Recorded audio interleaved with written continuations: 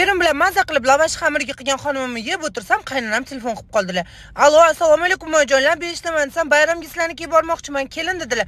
Bo'ldi bo'ldi oyijon kelavering u sizni kelishingizni bilib hamma joylarni чистый плотный qilib qo'yganman deb telefonni qo'yib ishlarni qilishga kirishib ketdim. Hamma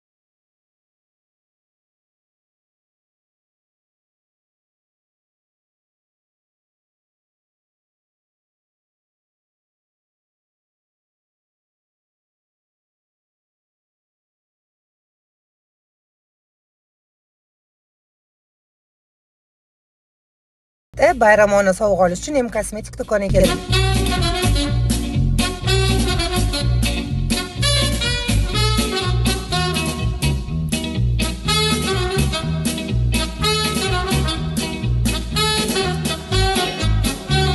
shuncha narsa nima olding onam bo'yamaydilar krem prem olamiz shuncha narsa olganini qarang oyijon bo'yanmanglar man chuma odam emasman.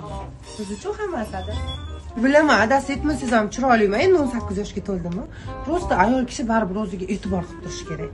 Maqsudi sizdan to'rt yuz yetmish besh ming so'm bo'ldi. So'ramoqchi edim bu tovarlarni sovg'aga oldingizmi? Ha ha oyijonimlarga oldim sovg'aga и o'zimga. Yaxshi bizda hozir aksiya ketyapti. Sizda mana to'rt yuz yetmish ming bo'ldi.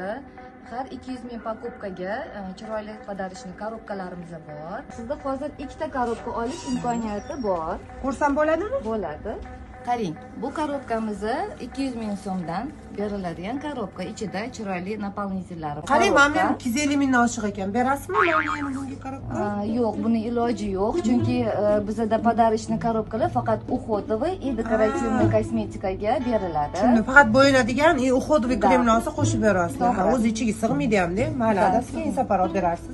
Bunisi har ikki yuz ellik ming so'mga beriladigan korobkamiz mayli unda hammasini chiroyli qilib bering. Yo to'xtang o'zim chiroyli qilib podarочный qilib qilib